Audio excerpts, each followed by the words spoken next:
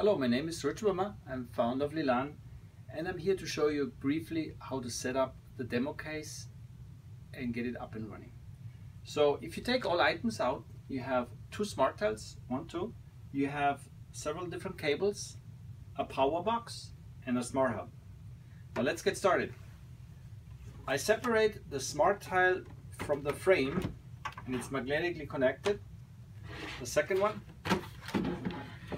Now, um, for the purpose of demo, we have numbered it with one and two, but you can swap it. The only thing, if you do that, you will have to remap it. So if you want to avoid the step, just follow the instruction. Now, um, as you can see, we have these, we call them smart cable. There's data and power coming along. And there's a long one and a short one. So for the long one, what you need to do is, or in general, uh, the cable can be snug between the smart tile and the frame. You take out those little tabs on the edges. And uh, there are two of them on each side. Uh, once you've done that, you connect the long cable here to the left and you push it in until it makes this click sound. That means it's secured. You do the same on the other side for the power box. And we have connected the power box to the smart tile.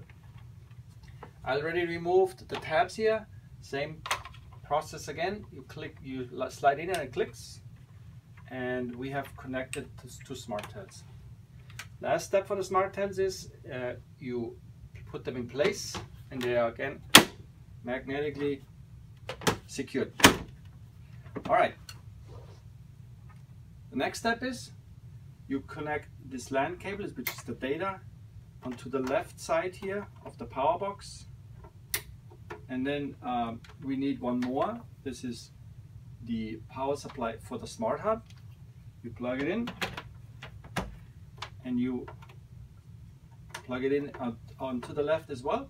Now the smart hub will boot up and it will take a while. It flashes when it's flashing when it stopped flashing and it goes to a green on state, that means the little Linux computer has booted up and is ready to go. Final last step for the setup here is to plug in the power box. and there is a little on switch. So the system is not, the power is not on until the smart hub is ready and it made a little click telling system is still booting up, but it has delivered the power to the smart tiles.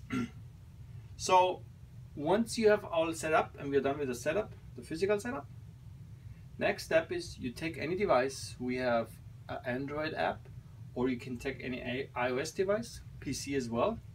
Um, I use in my case here my iPad. So you need to go into the Wi-Fi setting and you will find in your Wi-Fi setting something called Lellan underscore canvas. Select it and the password for the SSID here is LED lights all in capital. Again, LED lights all in capital. Once it's connected, take a browser, any browser will do, and you type in on the on the URL lellan.local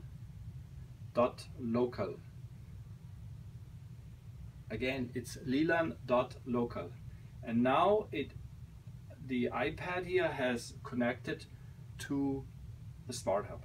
Um, we have right now a password. You can remove it uh, but it is red orange orange red or a 1221 and now you're logged into the smart hub there's a menu and we have a user manual for that but in the menu uh, for simple demo purposes go to system let's take off this heartbeat and just check all red, good. And you can now start to use the system, for example, play and play some content. That's it. If you have any questions, please feel free to reach to us, reach out to us anytime and we'll be happy to help you. Thank you so much.